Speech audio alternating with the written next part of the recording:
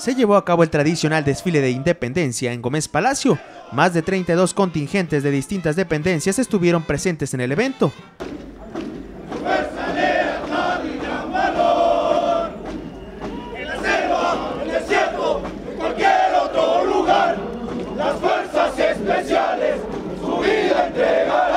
En primera instancia, el alcalde José Miguel Campillo Carrete, el general de brigada del 72 Batallón, Sergio Alberto Martínez Castuera, y regidores del ayuntamiento presidieron en el palco, dando así inicio al tradicional desfile encabezado por el ejército mexicano, quienes en primera instancia se llevaron los aplausos de los espectadores donde participan instituciones educativas, eh, así como también el ejército mexicano. No, definitivamente esta es eh, yo creo que una de las más importantes fechas de, nuestra historia y pues no debemos olvidar eh, aquella hazaña, aquella tarea que se dieron los padres de la patria para iniciar la emancipación y, pues ser ya independientes. Familias Gómez Palatinas pudieron disfrutar de dicho evento que contó con la participación de dependencias de salud, elementos de bomberos, Casa Club de la Tercera Edad y planteles educativos.